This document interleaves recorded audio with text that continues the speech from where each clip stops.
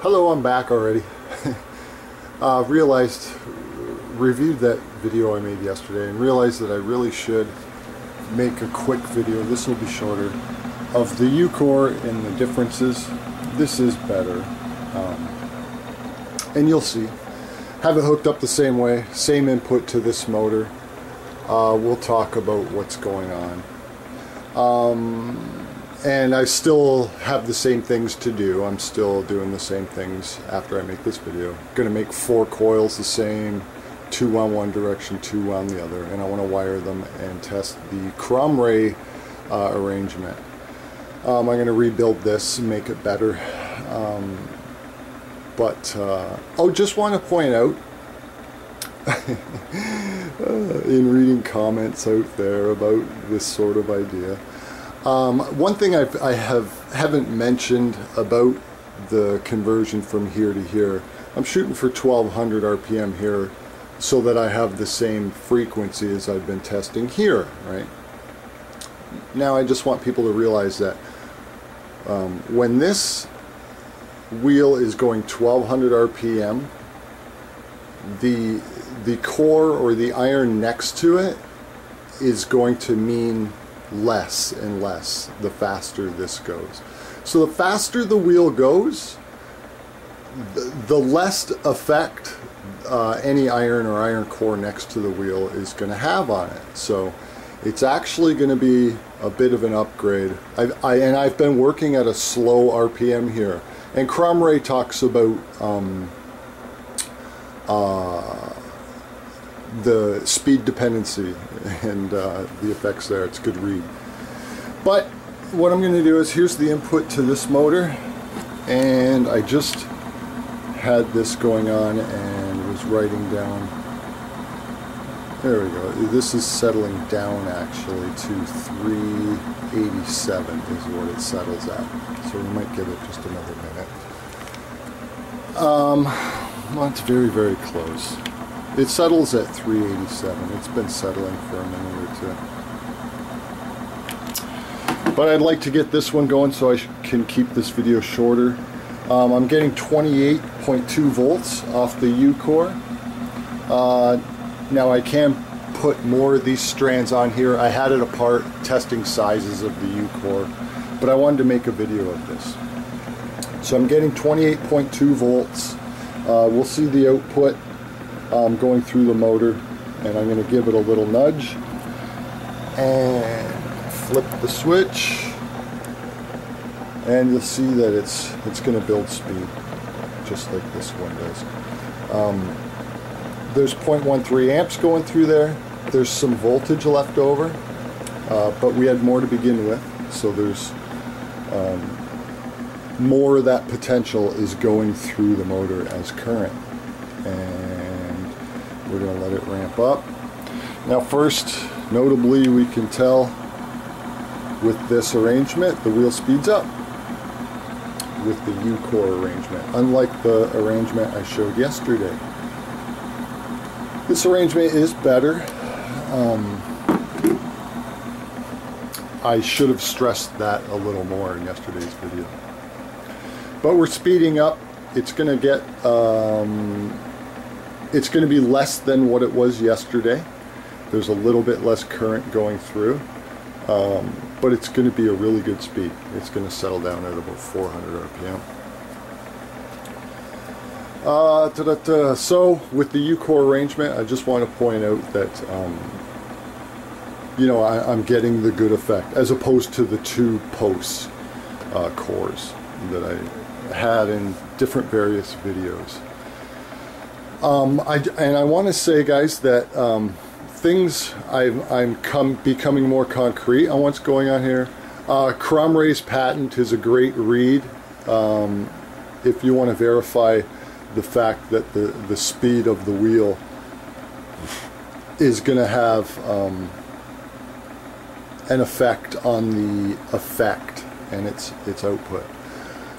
Simply put, what I'm saying is is that I've been working at a lower RPM and it, it's worked against me and I've done it that way for a reason for my benefit although it's harder um, I'm able to make determinations better doing it that way.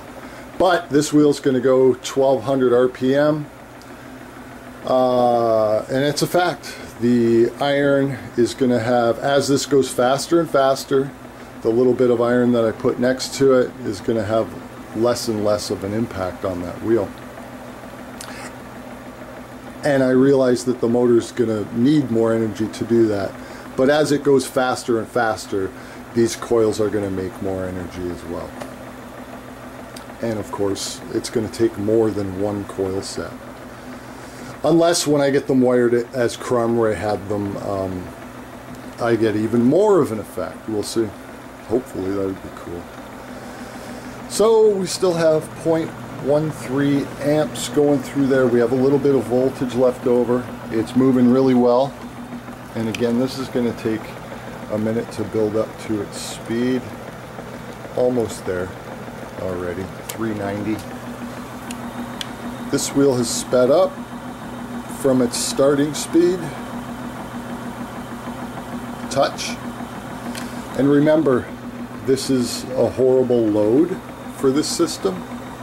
If I short these coils out, um, this is going to go up to about 425 RPMs. So if I'm if I'm able to run a better load through this, get even more of an effect. Now just finally and quickly, I'm starting to get a feeling this is running on as my videos tend to sometimes. I just want to point out, uh, I have a freewheel speed here with nothing next to the wheel of 442 RPMs. I've shown that in other videos. Uh, there's a motor load speed, so we're using this little motor as a load, and again, it's not a real good load for the system. But with that as a load on these coils, um, we saw that it sped up from the 387 to 392. Um, and again, I just wrote these down a minute ago. I wrote down 390 here. It's uh, a conservative um, uh, number there. So what we're doing here is the percentage. 88% of the freewheel speed is what we still have. And subtract that from 100. Oh, get the glare out of there. And that gives us 12%. So we've lost 12% of the speed here. And what we've gained is 400 RPM on this little wheel. The goal speed or approximate speed that I'm shooting for is 1200 RPM. So we do the, the math there, turns out to 33%. And this is rough, guys, and I, I understand that there's uh, other factors involved, but um, this is a general look at what's going on um, on the board there. So I want to give one last look here. Um, our input to this motor. This is the output, 1 point or 0.13 amps going through this motor. Again, voltage left over. That can be better this output can be better as well uh, when I make that core thicker. And this is going roughly 400 RPM.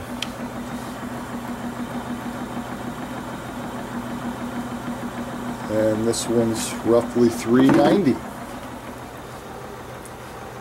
So there you are. Wanted to share that with you, the difference between the cores. I hadn't done that um, clearly uh, in other videos. And I, after watching that one from yesterday, I wanted to um, put that up there. And uh, just finally, I guess, um, there's still drama going on out there from three months ago. I don't even know how, but um, if anyone has any questions about that, uh, hopefully everyone has realized by now that I'm open and friendly and uh, like to share and talk. If you'd like to PM me, I'll, I'll fill you in. I'm not going to give it any more of my time. I've actually had forgotten totally about it. but if you'd like to PM me and um, and hear the whole story because things have been left out, um, obviously, uh, do that and I'll get to you. Or if you want to Skype me, Skype. I like doing that. It's easier. But um, I'm open and I share everything, and I just want any, everyone to realize that. And if anyone has any questions about anything like that, contact me. Um, I'd be happy to hear from you. But there you go. This is just a little more of um, a demo of the cores and the output uh, before I start tearing things apart here and making cores and spools and things like that. So there you go. Uh, another video and I'm going to be working on those other things. Uh, thanks for watching and take it easy. I'll talk to you next vid.